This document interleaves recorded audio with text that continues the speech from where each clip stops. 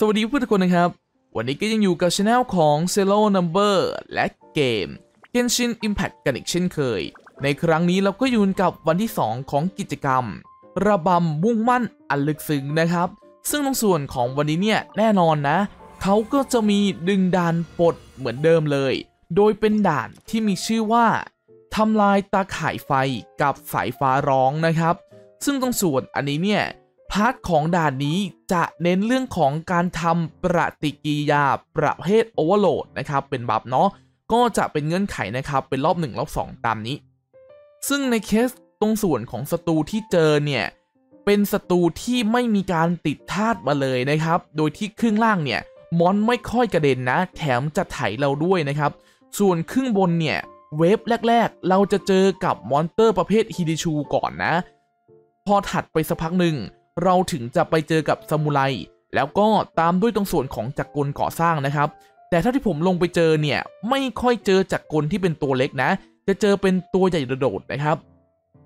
ทีนี้ในเคสตรงส่วนของตัวละครฟรีที่เขาให้เรามาทดลองก็จะเป็น Chevreuse นะครับ ซึ่งเป็น key ของด่าน โดยผมเนี่ยก็ใส่ไว้ตำแหน่งนี้นะ เพื่อที่จะทำให้ part ของตรงชุดนี้เนี่ยครับ มันมีการเชื่อมเนาะเนี่ยครับ จะได้ลงเล่นเขาได้ทั้งบนทั้งล่างนะครับ โดยที่ทีมครึ่งบนเนี่ย อย่างที่บอกไปว่าเราเจอกับจักรกลตัวนี้นะ ผมเลยจัดทีมเป็นข้างของฟิตเปโต แล้วก็ข้างของตัวโทมะ ส่วนของครึ่งล่างเนี่ยครับ ด้วยความที่ monster เนี่ย มันมาเป็นเคสมอนหมู่เป็นส่วนใหญ่นะครับ ผมก็เลยจัดทีมเป็นเบนเนตชิโนบุแล้วก็เชฟเซียงหลิงนะครับ ซึ่งในเคสของเชฟยูสเนี่ยเดี๋ยวเรามาอธิบาย skill กันก่อนเลยนะ ในเคสของตัวเขาเนี่ยครับจริง ๆ แล้วเงื่อนไขหลักๆ ในการจัดทีม จะเป็นการกึ่งๆ บังคับให้เราเล่นเป็นไฟและไฟฟ้าเท่านั้นนะครับ สาเหตุก็คือกรณีหากว่ามีเฉพาะ 2 ธาตุนี้เนี่ยตรงส่วนของเชฟยูสเนี่ยในกรณีเกิดปฏิกิริยา overload จะทำให้ความต้านทานไฟแล้วก็ไฟฟ้าของคู่ต่อสู้เนี่ยครับ มันโดนลดลงไปได้ถึง40%เลยนะครับ เท่ากับว่ากรณีนี้ก็อย่างที่บอกนะครับกึ่งกึ่งๆใช้2ธาตุนี้เท่านั้น แล้วก็นอกจากนี้นะครับ ในกรณีเกิด overload แล้วเนี่ย มันจะเกิด part ของตัว overcharged ball โดยหากเรานะครับ ใช้ตรงส่วนของการชาร์จยิงตรงนี้ย้ำนะครับชาร์จยิงจากสกิล E กดค้างไว้นะ แล้วเล็งโดนนะครับ มันก็จะมีการ buff ในเรื่องของตัวค่า Attack นะ ตามพลังชีวิตของเชฟยูสนะครับอะเป็นประมาณนี้สำหรับคนนี้ ผมก็เลยต้องจัดทีม 4 ดาวเป็นแบบนี้นะครับ แต่ว่าถ้าใครมีตัวไฟฟ้าดีๆ อย่างเช่นอะ part ของตัวไรเดนยาเอะหรือไม่แต่ตรงส่วนของโยอิมิยะนี่ก็สลับเข้ามาได้นะครับผู้เต่านี่พอได้นะ แต่ก็ระวังเรื่องเลือดนิดหนึ่งโอเคไหมแล้วก็ตรงส่วนของ buff ด่านเนี่ย จะเป็น buff ที่ช่วยเรื่องของการเพิ่ม damage ไฟฟ้ากับไฟ บวกกับช่วยเรา group mon นะครับ ทำให้เรายังสามารถเล่น overload ได้ในระดับหนึ่ง โดยเงื่อนไขเนี่ยแล้วแต่รอบนะครับ รอบที่ 1 ก็จะเป็นทำปฏิกิริยา overload 15 ครั้ง ส่วนอัน 2 เนี่ยจะเป็นปฏิกิริยาเกี่ยวกับไฟหรือว่าไฟฟ้านะครับ ยังไงก็ได้เนาะ แต่ว่าเราทำเป็น overload แหละครับ เพราะว่าเราเล่นเป็นเชฟยูสทีนี้เดี๋ยวเรามาคุยกันก่อนนะครับ จริง ๆ เคสของตัวการเล่นที่ถูกต้องเนี่ย มันควรจะให้ฟิชนะครับเป็นคนชาร์จยิง แล้วก็อาจจะเล่นเป็นโทมะหรือเชฟยูสนะทำให้เกิด overload ก่อนแล้วตามด้วยชาร์จยิงนะครับเพื่อ buff เพราะว่า skill ของฟิชกับเจเปยเนี่ยเป็น snapshotที่นกของฟิชแล้วก็ ultimate ของตัวเจเปยนะครับ snapshot คืออะไร ในกรณีหากว่า buff เนี่ยมันทำงานอยู่เสร็จปุ๊บแล้วกด skill ตรงส่วนของ skill นั้นจะจำค่าตรงส่วนของตัว buff นี้นะครับ stat ตอนนั้นนะจำไปจนกว่าจะหมด skill แม้ buff จะหมดไปแล้ว stat ก็ยังเหมือนเดิมอยู่นะครับจะเป็นแบบนี้ ซึ่ง ทีนี้เนี่ยพอผมเนี่ย build artifact ได้ไม่ค่อยดีนะครับ สิ่งที่ผมจะทำก็คือ เดี๋ยวเรา setting skill ของฟิชเข้าไปก่อนนะครับบวกกับ ultimate โทมะเสร็จปุ๊บหลังจากนี้เนี่ยผมจะใช้ ultimate เชฟยูสันทีนะครับเพื่อดึง mon ให้มันเข้ามาตรงกลางอะนะเพราะว่ามันจะมีการที่ระเบิดนะครับเป็นลูกปลายดัน mon เข้ามาได้ในระดับหนึ่งนะครับแล้วก็พยายามเคลียร์ค่านะ แต่ว่าจะพยายามอยู่ตรงกลางๆนะครับ สังเกตนะ เพราะว่า mon เนี่ยครับมันจะวิ่งเข้ามาหาพอดีเนาะพยายามอย่าย้าย position เยอะนะครับสำหรับ mon ชุดแรกๆ ไม่งั้นนะครับวิ่งตามเหนื่อยนะบอกก่อน โอเคทีนี้นะครับเดี๋ยวนี้ผมจะอยู่สักมุมหนึ่งแล้วเป็นตรงส่วนของ effect buff นะครับดึงตรงส่วนของพวก monster เข้ามาแต่ว่าเราต้องระวังนิดนึงนะ ถ้ามันอยู่ห่างกันเกินเนี่ยครับเราไม่ได้อยู่ตรงกลางบางทีมันจะมีเคสเหมือนกับว่า part ของ mon เนี่ยครับมันดึงมาไม่ครบอย่างตรงนี้นะ เราก็เล่นไปเท่าที่ทำได้นะครับ ครึ่งบนเนี่ยส่วนตัวผมไม่ค่อยหวังอะไรมากนะ เพราะว่า artifact มันแบบมันไม่ไหวนะครับ ใช้คำนี้เลยอะทีนี้เรามาเจอกับหุ่นตัวนี้นะครับ พอดีเดี๋ยวสังเกตที่หัวมันดีๆนะ มันจะมีคล้ายๆกับฟันเฟืองสีขาวๆอยู่ใช่ไหมทีเนี้ย skill เชฟยูสนะครับเวลายิงเนี่ยมันจะปักเป็นดาบดำซึ่งถ้าใครรู้นะครับมันก็เป็นกิมมิคของตัวฟอนเทนนั่นแหละทำให้เราสามารถทำให้มันกระตุกได้นิดๆหน่อยๆนะครับก็อย่าลืมตรงนี้นะ โอเค ทีนี้ผมก็วนไปนะครับอย่างที่บอกไป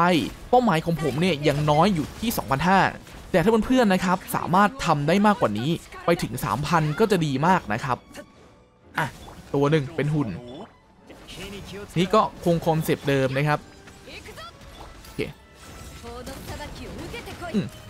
เดี๋ยวจบตัวนี้เนี่ย พอช่วงท้ายๆของตัว phase เขานะครับ ผมจะต้องพยายามมาอยู่ตรงกลางแล้วเดี๋ยวสักพักนึง mon ชุดใหม่เนี่ย ที่เป็นเป็นชุดหมู่นะครับ จะกลับมา เราก็มาอยู่ตรงนี้รวบนะครับเหมือนเดิม keyword ตรงนี้นี่คือเรื่อง group mon ล้วนๆเลยนะครับ ก็พยายามทำให้มากเท่าที่ทำได้นะครับโอเคได้ประมาณ 2,000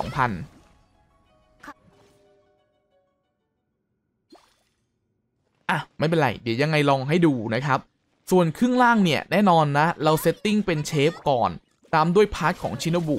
เสร็จปุ๊บหลังจากนั้นนะครับวงเบนเน็ตแล้วผมจะเริ่มเลยกด skill ของเชฟยูสนะครับเล็งแล้วตามด้วยตรงส่วนของตัว skill ของตัวเชฟอะอาจจะงงๆหน่อยนะครับเชฟเชฟเชฟเชฟสองเชฟเนี่ยมีเชฟเซียงหลิงกับเชฟยูสเนาะก็พยายามอยู่ตรงกลางๆนะครับตำแหน่งที่ผมอยู่ตรงนี้ เพื่อที่จะทำให้เวลา mon มันเกิดมาเนี่ยครับมันจะโดนหมดเลยนะครับ ระยะมันพออยู่นะ ตรงนี้โอเคเดี๋ยวผมหันมาตรงนี้นิดนึงนะครับ ให้เจ้าปูเนี่ยมันเดินเคลื่อนมานิดนึงนะ มันจะได้โดนทั้งสองตัวนะครับ part นี้ทีนี้ part ของชุดนี้เนี่ยก็จะเป็นลูนการ์ดและ เดี๋ยวเราต้องระวังนิดนึงเพราะว่าเขาเนี่ยครับจะค่อนข้างดันเราออกมาเลยนะ โดยเฉพาะพวก monster ที่เป็นแมงกะพรุนเนี่ยไม่รู้เป็นอะไรนะครับ คือดันหนักมากๆ ซึ่งเคสตรงส่วนของตัว part ผมเนี่ยจำเป็นนะที่จะต้องอยู่ในวง Bennett เพื่อที่จะทำให้ part ของตัว damage เนี่ย มันไม่โดนลดนะครับ ก็จะลำบากลำบากหน่อย แต่ก็ไม่เป็นไรโอเค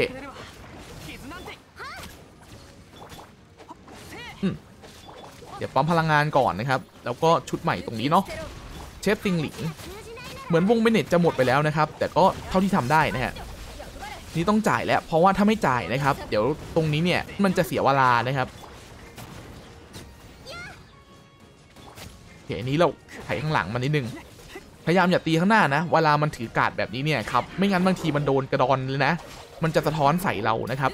ก็ตอนนี้อยู่ที่ทั้งหมดด้วยกัน5,600นะครับ โอเค นี่พอโรเทตมันเพี้ยนๆก็จะเป็นประมาณนี้แหละ ไม่เป็นไรนะครับ อะ ตอนนี้6,200แล้วอย่างที่บอกไปนะครับ เป้าหมายผมก็คือเก็บด่านบนเท่าที่ทำได้ แล้วก็ลงมาเล่นข้างล่างนะ ประมาณนี้ก็ถือว่าดีมากๆแล้วนะครับ โอเคไหม